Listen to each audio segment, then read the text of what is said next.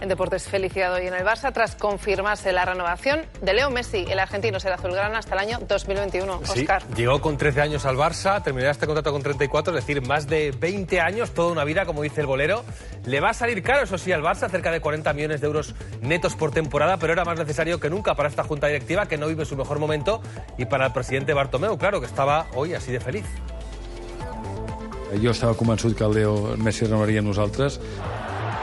40 millones entre fijos y variables, una cifra astronómica, pero hace tiempo ya que el fútbol se ha vuelto loco en este sentido. El Barça lo ha anunciado con un vídeo que acaba con este plano de Messi mostrando su camiseta en el Bernabéu. La firma se estampará el 15 de julio y mientras su alter ego argentino liándola. ¿Y de qué manera en Nápoles?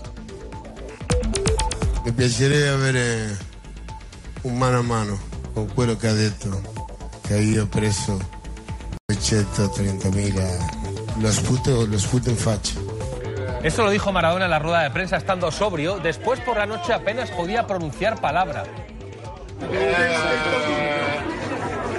Tal era su estado de embriaguez que su equipo de seguridad se lo quería llevar cuanto antes, a pesar de que él no quería.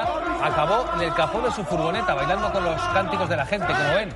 En unas horas será nombrado ciudadano ilustre de Nápoles. Y habrá otra cena, otro recibimiento tumultuoso, el de Pepe en Turquía.